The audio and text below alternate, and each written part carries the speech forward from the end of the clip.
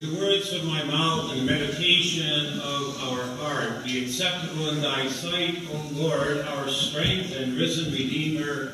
Amen. He has arisen with ongoing power. That is God's word.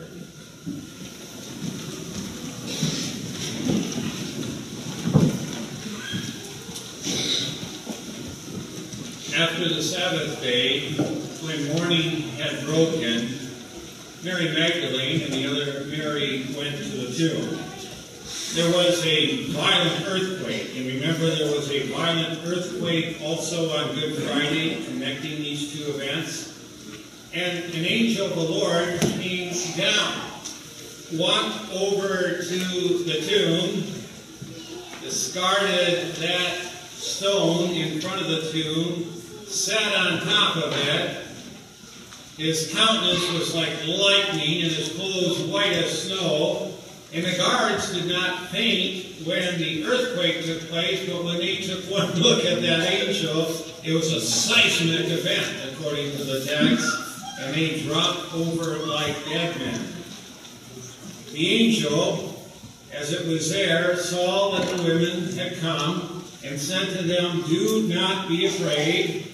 For I know that you seek Jesus Christ who was crucified. He is not here. He has risen with ongoing power, just as he said. Is there anything in all of history that you can think is like the bodily resurrection of Jesus Christ from the dead? No other religion, no other philosophy, no other worldview has anything like this, like the resurrection of Jesus Christ from the dead. It is the great reversal on Good Friday. In the Hebrew, they call it this. It's the shuv revuv, the turning of the tables. When Christ turns the tables on death, and rises to proclaim victory over the grim reaper. Did you also notice that this happens not on the Sabbath, but on a workday? The first day of the week it takes place. It's as if God is saying here that He wishes to invigorate in our steps, invigorate in our work, that we are to be animated by this good news in everything that we do. That history is not just the movement of a squirrel cage, but every day we take one step closer to heaven, and every day we work as disciples of the risen Lord who is working everything together for the good of his bride, the Holy Christian Church. The fruit of this event that took place back then is only the beginning of how history will be impacted positively. We now have confidence that the work that we do is in the name of the risen Savior and not merely work. It gives us a whole different perspective on life as we journey through life and head to eternity in the new heaven and new earth. What irony in this text. The men on the outside were to be watching the person on the inside. The person on the inside is supposed to be dead, but he's alive and well outside, and the men that were supposed to be alive watching him are as good as dead because of the fear that came upon them when they beheld that angel. Mary Magdalene and the other Mary are also about to faint. They take a look at this majestic creature that Jesus had made and sent they look at this creature and they're just about ready to faint, but in less than a trillionth of a second, the angel speaks to Mary Magdalene and the other Mary and says, Do not fear. I know that you've come here to see Jesus who was crucified, but he is not here. He is risen just as he said he was going to do. Rise on the third day. We celebrate Peter's boldness at Pentecost. We celebrate St. Paul's proclamation that we are saved by grace through faith in Christ apart from good works, we celebrate the solemnity of the Apostle John. The Word, God, became flesh and dwelt among us. We should also celebrate Magdalenic fidelity. Mary Magdalene's fidelity.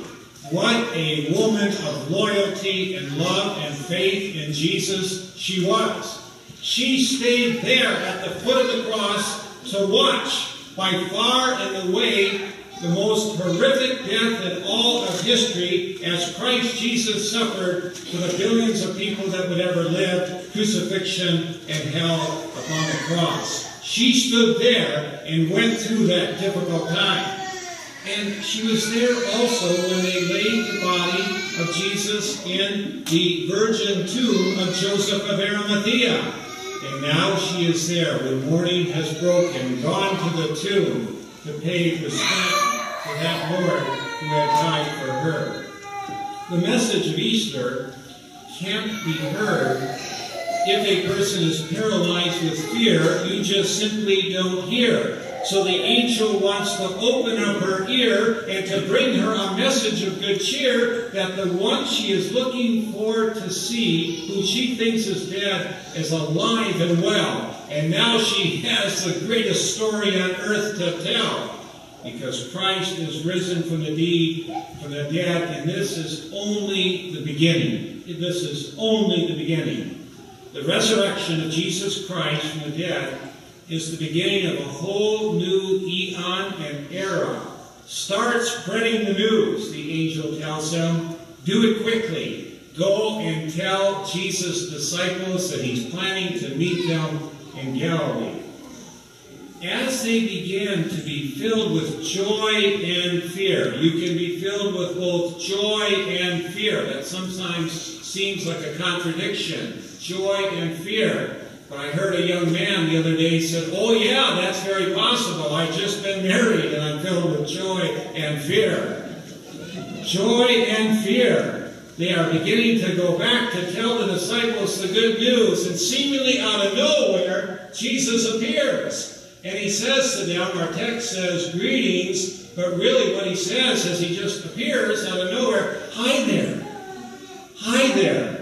It's a very down to earth, earthy greeting by Jesus to show his humanity. And then we see, on the other hand, his divinity as the women worship him. He is both man and God, victor over death. Divinity and humanity on display. Now, Jesus tells them, don't be afraid.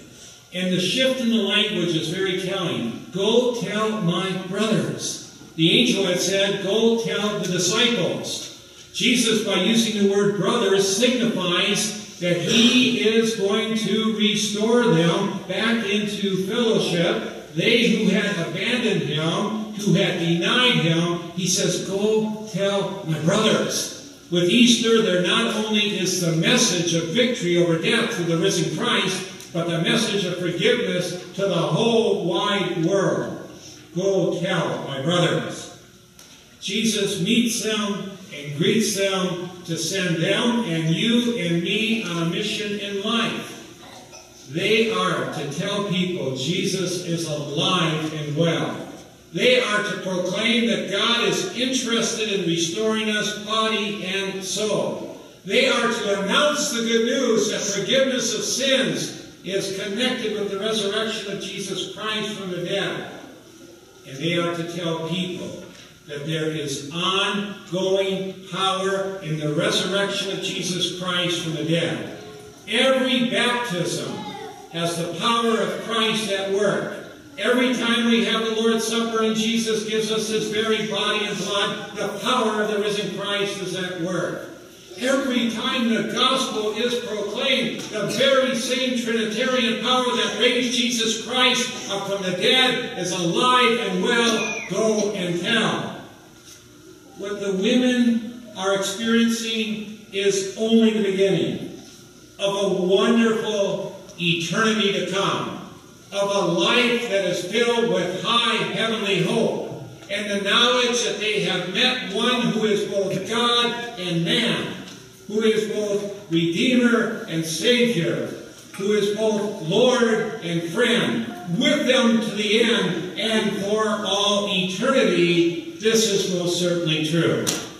And the peace of God that passes all understanding may guard and keep your hearts and minds in the only hope of history, the risen Lord Jesus Christ. Amen. Hallelujah. Amen. Hallelujah. Amen. Hallelujah.